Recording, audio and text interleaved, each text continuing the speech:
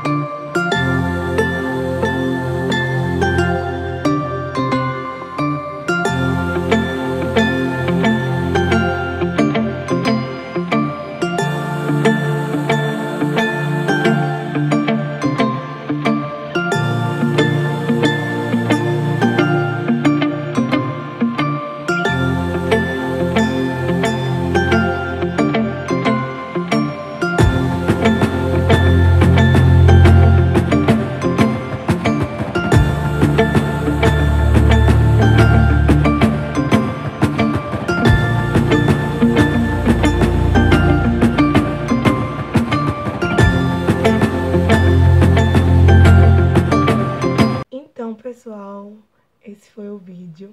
Espero que vocês tenham gostado. E o meu cabelo, ele é assim. Ficou dessa maneira, né?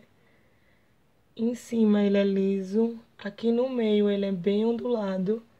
E nas pontas ele é assim, liso, ondulado, cacheado. Aqui pra dentro ele é mais 3A. Ó.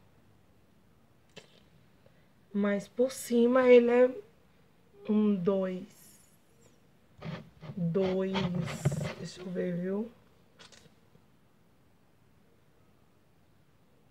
Dois B, eu acho, dois C.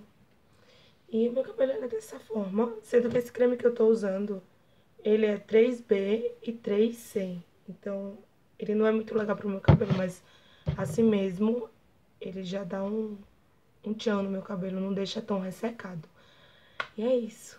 Não esqueçam de se inscrever aqui no canal, de curtir, deixar seus comentários e até os próximos vídeos.